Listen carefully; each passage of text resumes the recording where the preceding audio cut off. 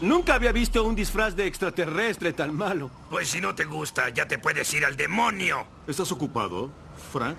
Lo siento, K, no tengo tiempo. Mi vuelo sale... ¡Ay, ¡Suéltame! ¡Suéltame! ¡Llama a la perrera! ¡Tiene moquillo! Ah, el perro le debe dinero a mi amigo. Arquilianos e insectos, Frank, ¿qué sabes? No sé nada. ¿Nada?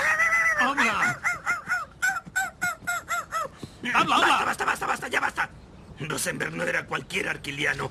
Era el guardián de toda la galaxia. Y creyó estar a salvo en la Tierra. Y el enemigo tenía otros planes. La galaxia es la mejor fuente de energía subatómica en el universo. Si los insectos ponen sus tenazas en ella, díganle adiós a los arquilianos. Pregúntale por el cinturón. Rosenberg mencionó una galaxia en el cinturón de Orión. ¿De qué estaba hablando, Frank? Me lleva... Te lleva, ¿eh? Al cliente lo que pida. No, no, no me agites, no. Habla. Bueno, la galaxia... Mi amigo la es galaxia, ventrílocuo, está la galaxia ensayando. está aquí. ¿Cómo que está aquí? Una galaxia tiene cientos de millones de planetas y estrellas. Hay humanos. ¿Cuándo aprenderán que el tamaño no importa? Solo porque algo sea importante no significa que no sea muy, muy pequeño. ¿Qué tan pequeño? Diminuto, del tamaño de una canica o una joya. Ahora, si me disculpan, tengo que dar una vuelta antes de mi vuelo. Lárgate de aquí.